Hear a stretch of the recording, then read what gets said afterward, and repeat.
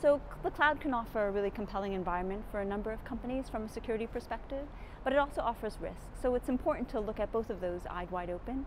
At NSA, we're both a user of cloud services, and we've also offered advice to other entities using cloud services who have a number of lessons.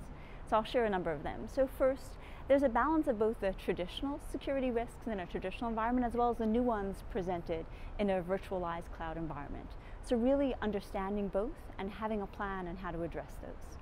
Second, there's a shared responsibility between the enterprise and the cloud security provider, the cloud provider with regard to security.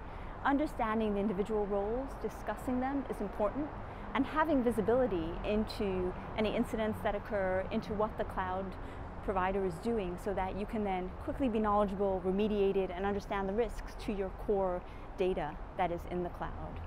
So those are really, and then finally, the cloud is offers a com component services from security services to encryption services, and really understanding them in depth and having a repeatable way to use those services so that the individual developer doesn't have to figure it out will help ensure that you have consistency and an understanding of the risks of that environment.